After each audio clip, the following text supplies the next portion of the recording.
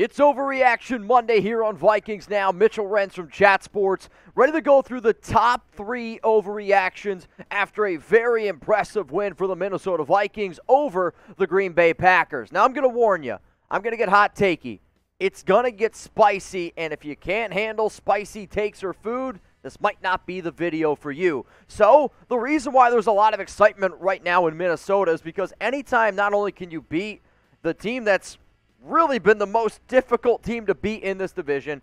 But as far as I'm concerned, man, anytime I can take down Aaron Rodgers, love to see it. And not only did you take him down, you embarrassed the Green Bay Packers, where a lot of people didn't think it was going to happen. So if you're excited that the Vikings are 1 0, then I want to give me y'all a skull down in the comment section. If you come across this video and you don't type skull, going to question whether or not you even got a pulse because if that game doesn't get you fired up, where you embarrass Aaron Rodgers, Justin Jefferson looks like that dude, Kirk Cousins look like one of the best damn quarterbacks in the NFL. I don't know what it's going to take, so I want to see some skulls. Let's get in now to some of these overreactions after the Green Bay Packers game.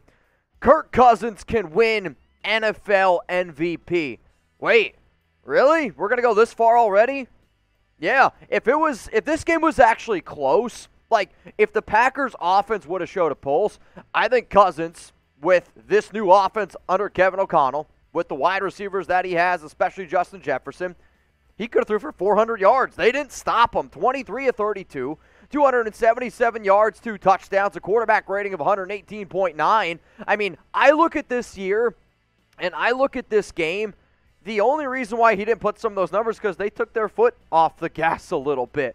You remember a few years ago, and I'm going to hop into a time machine because I do think Matt Ryan and Kirk Cousins are two very similar quarterbacks where if you surround them with a lot of talent, they have enough tools in their tool shed to be able to get it done and pinpoint and pick apart defenses. Cousins needs to win some of those big games, which absolutely should put him in contention, especially if he can win some of those big games, like you just saw here for NFL MVP. Because from a numbers standpoint, over the past two seasons, 35 touchdowns, 33 touchdowns. If he puts up a year like Matt Ryan had, where he throw for almost 5,000 yards, you have 38 touchdowns, seven interceptions, you win this division, and you're one of the top teams in the NFL. You have to be in the NFL MVP discussion. And it makes me laugh because I was talking to producer Patrick Seaton before this game about Mike Zimmer. Doesn't the entire locker room, almost like the entire city, feel totally different underneath Kevin O'Connell? That guy's got so much swagger in that locker room. It makes me very happy that Mike Zimmer is just probably sitting in his living room right now staring at all those deer heads that he has hanging around everywhere. Let's go to the next overreaction here on Vikings now. They're a top three team in the NFC. And pause you could see them even being the best team in the NFC. I said it. I know. Personally, here are some of the teams that lost. Green Bay Packers, they look bad. The Los Angeles Rams, I mean, that's the only other team where I could sit here and say, well, you know, they had a bad game against Buffalo. Buffalo looks legit. But after what the two games I saw, the Vikings look like a better team. Dallas put up three points. They're, they don't have Dak Prescott. That, that team's, they're done. Arizona Cardinals got boat raced up against Kansas City. The 49ers, yeah, it was downpouring rain. They lost to the Bears. the Bears, that's a joke. Now, the Philadelphia Eagles, they played a solid game. The Tampa Bay Buccaneers with Tom Brady, they played a solid game. But if you don't think that the Minnesota Vikings deserve to be in the top three teams in the NFC, I think you're crazy, man. So give me a Y for yes and for no. That's what Chat Sports is all about. I know. I'm the one on here getting emotional, talking to you guys about this overreaction, but I have social media. I have a television. Hell, the fact that my dad, who's not even a Vikings fan, was talking to me about the Vikings today on my way to work, that tells you everything you need to know there's a lot of excitement, and they deserve it. The hype train full steam ahead, and we're going to keep it riding here on Vikings Now. So I want to see some yeses. Let's go to the next overreaction after the domination of 23 7 against the Packers. The Purple People Eaters are back. I'm a sucker for when people in sports today, NFL players, appreciate the greats because I get it, and I am a big believer in this. These players can't do what they do if it wasn't for previous regimes, previous teams, like the Purple People Eaters, setting a foundation. Why does that matter? Because if the football was bad 30 years ago, 20 years ago, 10 years ago, Would, it, would there even be football now? I don't know. Maybe we'd be dealing with what baseball's dealing with because there's nothing going on over there. But for these purple people eaters, you're going up against not, you know, eh, you're not only going up against the NFL MVP, you're going up against the back to back NFL MVP. This man has got a Super Bowl. He's got four MVPs in general. You sacked him four times. You hit him five. You made him cut his ridiculous hair, which might be the greatest stat that we could throw out here. Three tackles for loss. And Danielle Hunter and Za'Darius Smith Dude, they're just getting started. I was waiting for them to hang up Aaron Rodgers by his feet and try to get out all of his freaking lunch money because they were just all over the football field, and that had to get you excited because you can say what you want. We know Justin Jefferson is that dude, and he deserves to be in the conversation for best wide receiver in the NFL.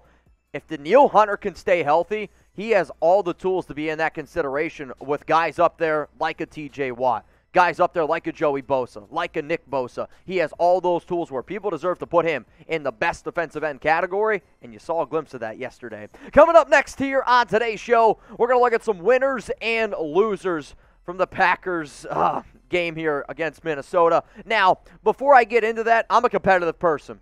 Are you a competitive person?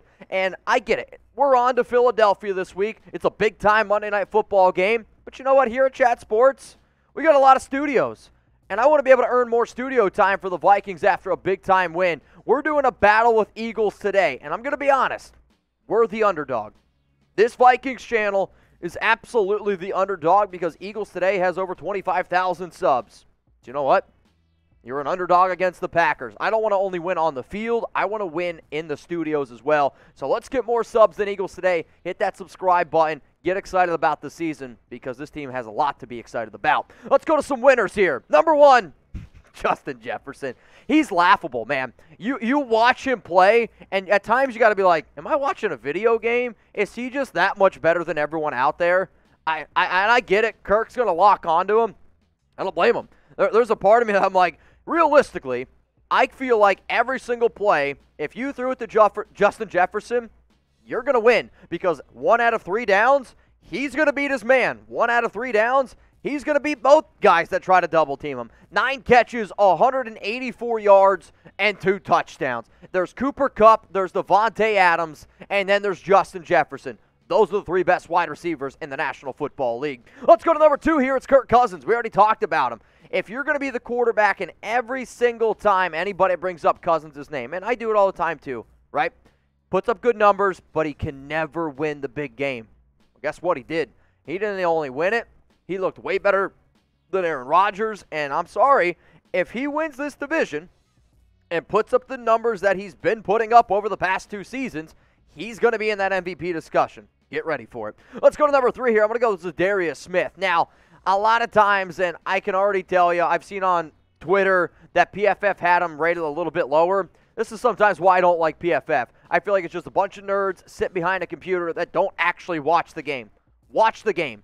Turn on the film. He got his revenge against the Packers. He looked phenomenal being able to get after the quarterback. He had a sack. The pressure that he was getting, Rodgers was shook. You can't tell me he wasn't shook. So for that, Za'Darius Smith was a winner to me. Now, if you love the fact that Za'Darius Smith sacked Aaron Rodgers, and I loved it because as soon as it happened, they went close to him like on camera, and he just looked like a kid in the candy store. He was so happy, man. If that doesn't make you smile, I don't think you're a real one, man. So if that made you smile, just seeing Aaron Rodgers on the ground, I just can't stand that guy. Hit the sub button right now. Let's go to number four, Greg Joseph.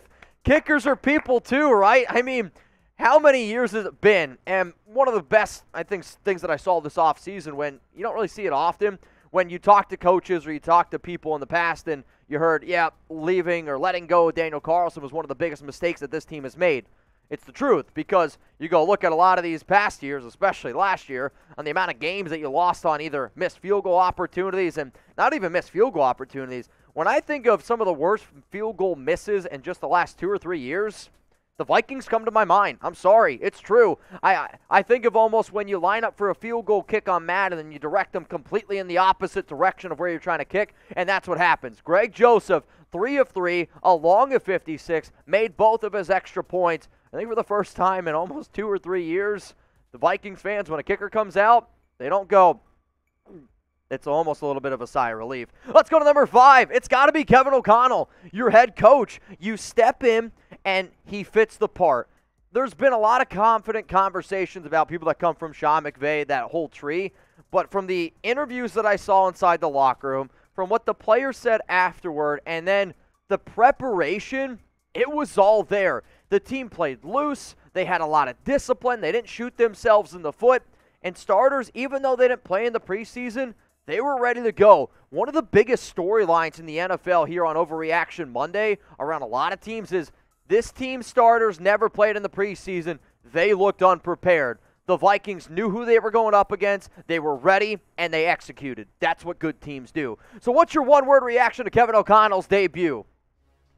I want to know what's your one word reaction to Kevin O'Connell's debut? My one word reaction is impressive because that's the only word I can come up with right now. It was an impressive debut. Let's now go to some losers. And it was hard. This this might have been probably the most difficult thing I had to do when I walked into work today is come up with some losers after a 23 to 7 butt kicking. But Patrick Peterson, he got roasted on a touchdown. Okay, we'll give him the loss. For you box score hunters out there, some of you are going to be like, "Wait a minute. Jordan Hicks, he, he led the team in tackles, right? Yeah, but sometimes it matters where you're getting the tackles and the amount of missed tackles he had. According to the PFF, he was also rated one of the lowest defenders on the Vikings team. And then Ed Ingram we kind of know what we're getting here out of Ed Ingram. I was hoping to get a little bit more out of the second round rookie from LSU, but there's going to be growing pains. That's what being a rookie is all about. But you know what? I look at the game that was had, and I'm going to be glass half full here. You not only embarrassed the Packers, you won 23 to 7. Your top cornerback, loser. Your best probably linebacker, or at least the guy you just signed, loser. Your second round pick at uh, guard, who you're hoping could step on the offensive line, loser. If you can win a game like you did, and these three guys didn't play well, imagine if everybody plays well. Yeah, MVP Kirk Cousins. Vikings coming for you full steam ahead, and we're going to be giving you all of that here on Vikings Now, so hit that subscribe button.